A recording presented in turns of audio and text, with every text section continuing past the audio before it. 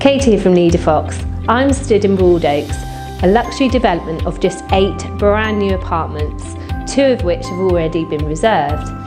The apartments have been built to an extremely high specification throughout, with state-of-the-art technology and even boasting a lift. The apartments are in a prime location, on a level walk to Broadstone High Street, Broadstone High Street is becoming ever popular due to Marks and Spencer's, Mark Bennett Patisserie, plus many fashionable bars, trendy bistros and the vast array of amenities.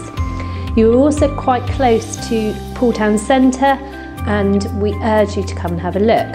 So don't miss out and call us now on 01202 721 999.